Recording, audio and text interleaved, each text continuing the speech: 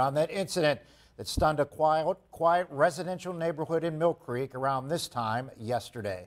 Good evening, I'm Mike Ruzzi. And I'm Eva Mastromatteo. Thanks for being here with us on Erie News Now at 5. We have team coverage as we learn more about what led to an officer-involved shooting on Tuesday that left one man seriously wounded and facing felony charges. Our Lisa Adams and Caleb Yager are breaking down the new information tonight.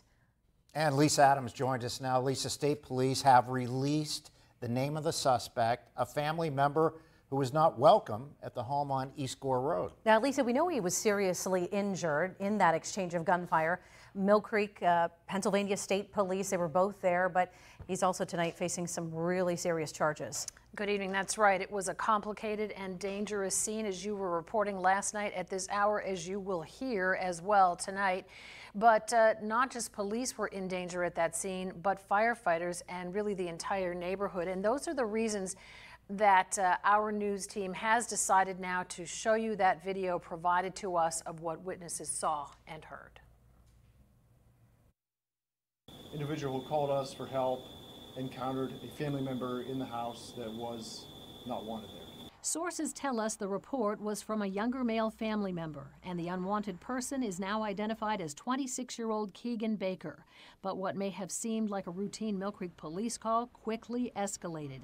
And this is what neighbors like Mark Bishop saw and heard.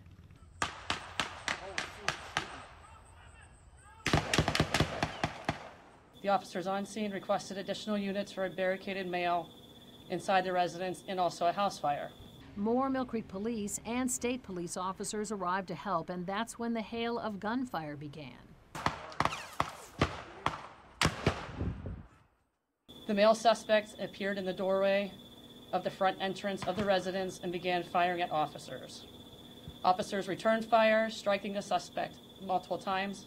The charges against Keegan Baker are many, including felony counts of attempted homicide, attempted murder and assault on law enforcement, multiple counts of aggravated assault, arson, and burglary for entering a house where he wasn't wanted. Firefighters who had to hide behind their trucks at first found a way to pump water through Mill Creek's armored SWAT unit, which could safely get right up to the house. Authorities aren't saying yet how many Mill Creek and state police officers fired their weapons. Or how many shots the suspect may have fired, but he was hit multiple times.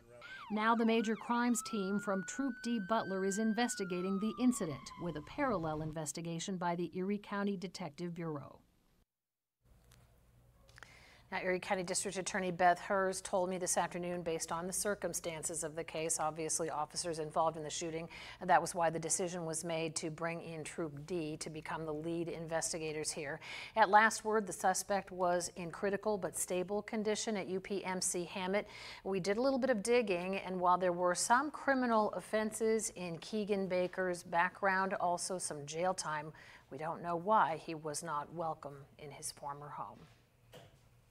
All right, Lisa, thanks so much for your reporting. Lisa